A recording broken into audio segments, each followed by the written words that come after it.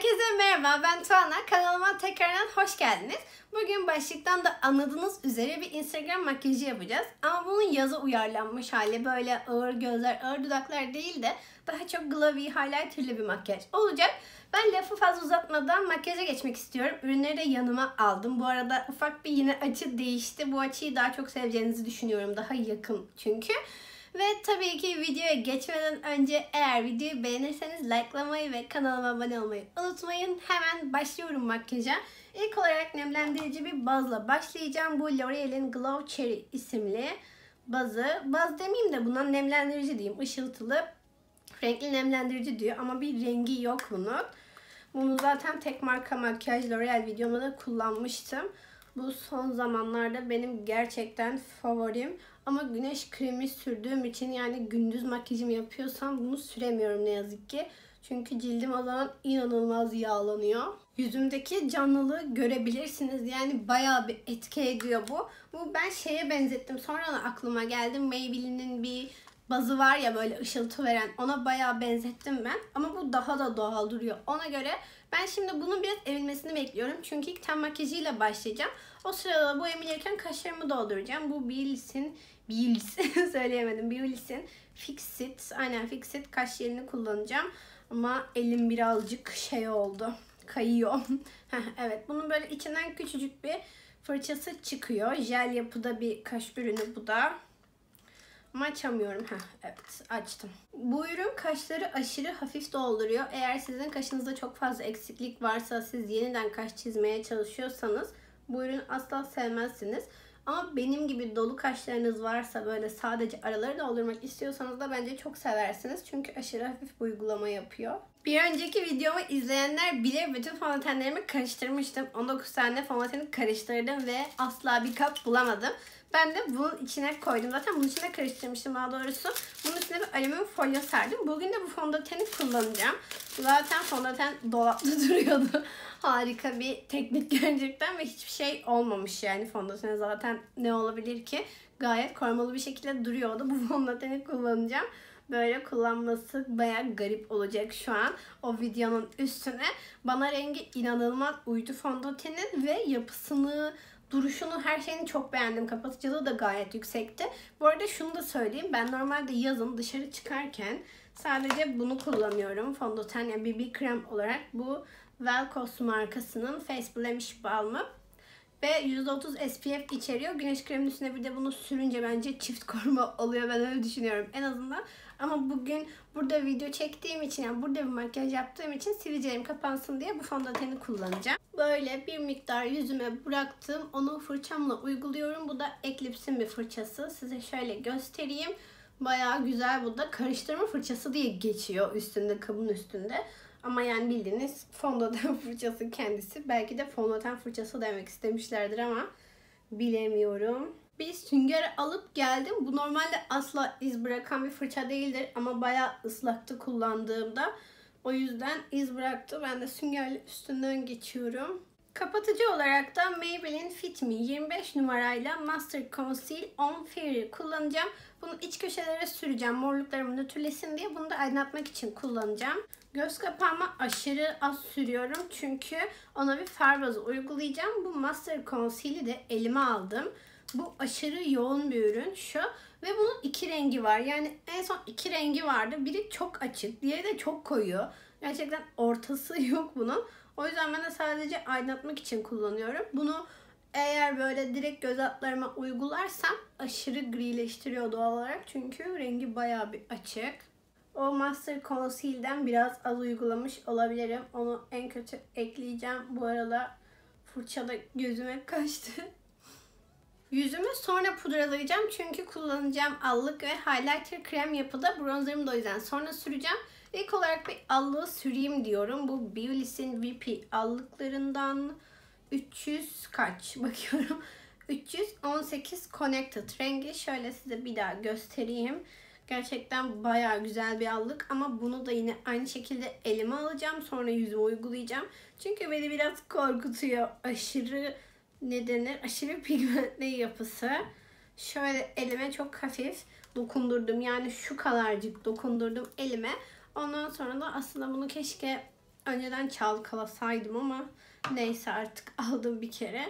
Şöyle hemen parmaklarımla gülümsüyorum. Parmaklarımla gülümsüyorum.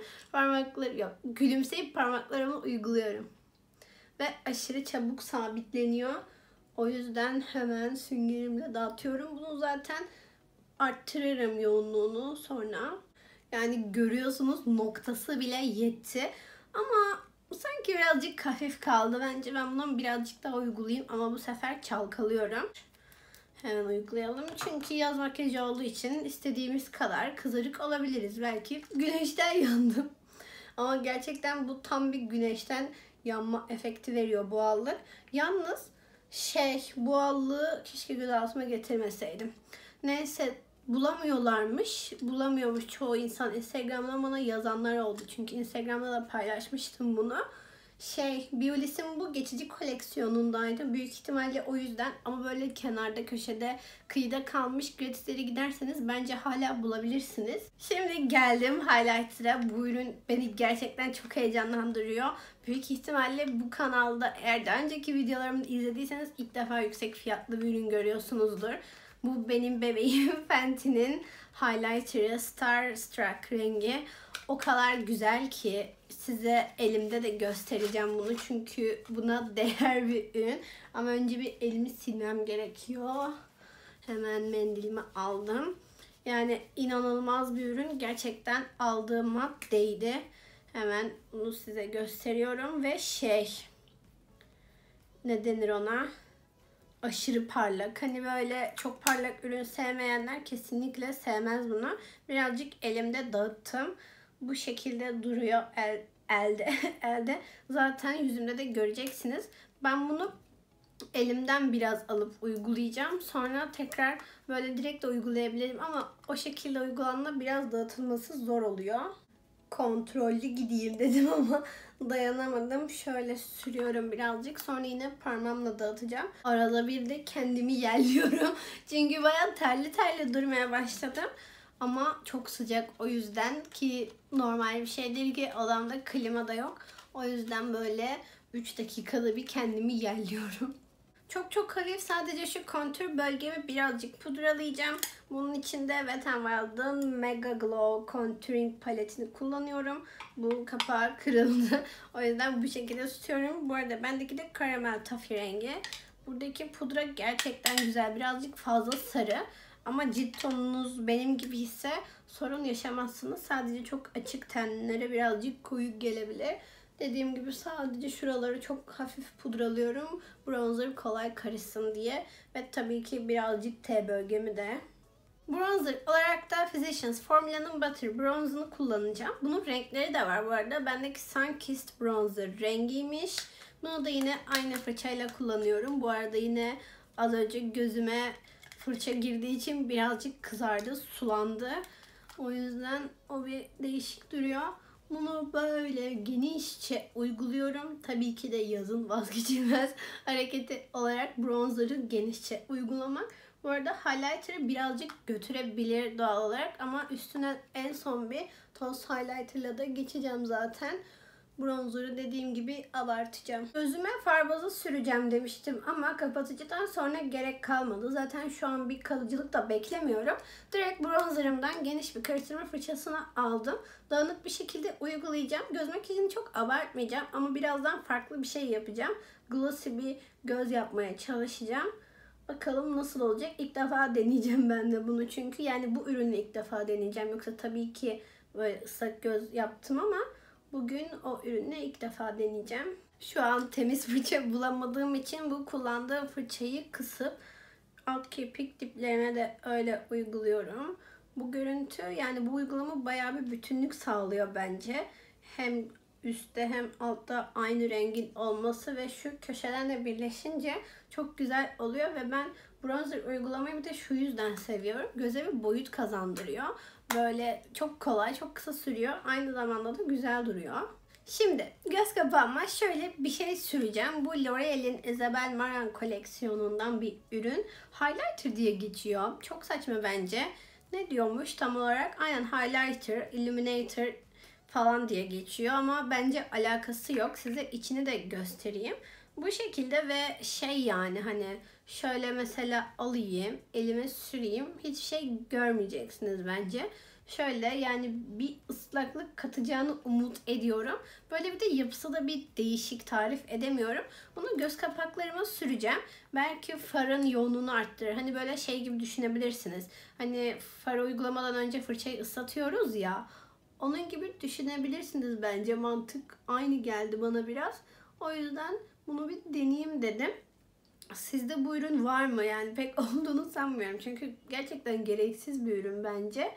Ama bilmiyorum şey sizde varsa ne için kullanıyorsunuz? Bir şey için kullanabiliyor musunuz? Bana söylerseniz çok sevinirim.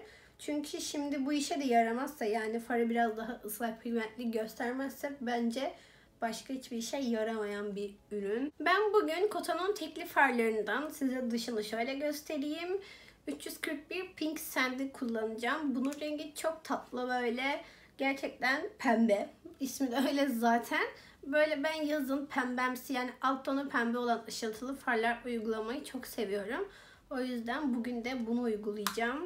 Yalnız yakına geldim. Gerçekten güzel oldu. Yakına geldim ki siz daha net görün diye. Tek dokunuşta bu şekilde oldu. Tamam bu da zaten pigmentli bir ürün ama bence o az önce uyguladığım şeyin de etkisi var. Ben bayağı beğendim. Maskaraya geldik. Şimdi bu Avon'un True Color Volume maskarasıyla Wet n Wild'ın Megaland maskarasını kullanacağım. İkisini de uygulayacağım ama sadece şunu söyleyeyim. Bunu alt kirpiklerime uygulayacağım sadece. Bu Avon'un maskarası daha çok hacim veriyor kirpiklere ve birazcık da kaldırıyor. Wet n Wild'ın maskarası ise daha çok uzatıyor kirpikleri. O yüzden ikisini birlikte kullanmayı ben bayağı seviyorum. Yalnız alt kirpiklerimi de neden örümcek bacağı gibi yaptığım hakkında hiçbir fikrim yok. Birazcık abartı oldu ama olsun bugün de böyle olsun. Hem böyle daha gözüm açık durur bence. Güzel olur. Şimdi geldik highlighter'a. Bu Zoeva'nın Cocoa Blend neymiş highlighter'ını kullanacağım. Ama şey bu bence highlighter ve allık paleti. Size şöyle göstereyim. Bu da baya gerçekten patlayan bir aydınlatıcı. Şimdi zaten sürdüğümde de göreceksiniz. Orayı pudralamadığım için de gayet bence sorun olmayacak. Böyle pütür pütür durmayacağını ümit ediyorum. Videonun neredeyse sonuna geldik ama şunu da belirtmek istedim. Bu videoyu ben Ece için dün videosunu gördüm. Instagram yaz makyajıydı galiba adı yanlış hatırlamıyorsam. Ben de kendi versiyonumu çekmek istedim. Çünkü gerçekten çok hoşuma gitti o fikir yani. Hele de böyle bir zamanda yaz ayında. O yüzden bunu da size belirtmek istedim. Bu arada highlighter'ımı da görüyorsunuz. Hele bu ikisinin uyumuna ben bayıldım. Fenty ile bunun uyumuna. Ama tabii ki çok daha uygun fiyatlı ürünlerle de bunu yakalayabilirsiniz. Bu Zoya paletteki allığı şuradakini çok hafif geçeceğim ama çok hafif belli belirsiz. Bu biraz ışıltılı bir allık ve güzel bir pembelik veriyor. Birazcık da ışıltı versin. Bu arada size şunu da söyleyeyim. Ben kaşlarımı şu Maybelline Brow Precise ile şöyle tutamadım. Şunu sabitledim çok az. Ve aydınlatıcımı dağıttım bununla bu şekilde. Onu da söylemiş olayım. Aşırı aşırı güzel oldu şey. Aydınlatıcının görüntüsü.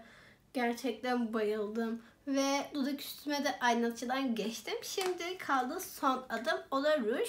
Ruj olarak da şu yana bir bakayım ne sürebilirim. Sonra size göstereceğim. Yalnız makyaj asla bitmiyordu. Aklıma bir şey geldi görmüşken. Göz içlerime ten rengi bir kalem süreceğim. Bu da Maybelline'in Master Drama Light Liner'larından neymiş? 40 numara. Evet adını okuyamıyorum. O yüzden sadece 40 numara.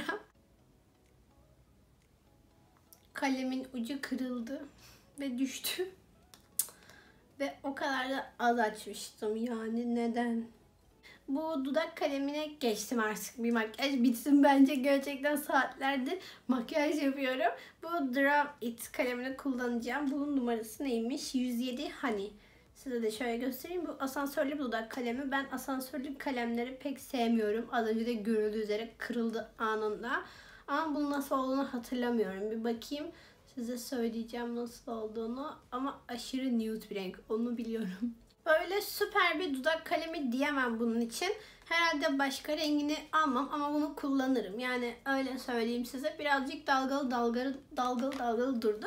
Üstüne ruj süreceğimiz için bir sorun yok ama pek beğenmedim.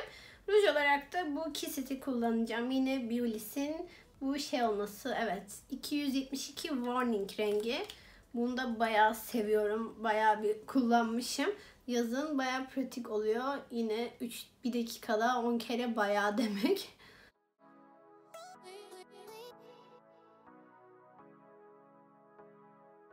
Ve benim makyajım bitti. Gerçekten benim hoşuma gitti. Yani böyle tam ben oldu bu makyaj. Ben yazın dışarı çıkarken genelde bu tarz makyajlar yapmayı seviyorum. Bu arada saçımın şakülüğü kaymış. Neyse dediğim gibi ben bu tarz makyajları çok seviyorum yazın dışarı çıkarken. O yüzden umarım siz de beğenmişsinizdir, keyifli izlemişsinizdir. Eğer videoyu beğendiyseniz lütfen likelamayı ve kanalıma abone olmayı unutmayın. Kendinize çok iyi bakın. Bir dahaki videolarda görüşürüz.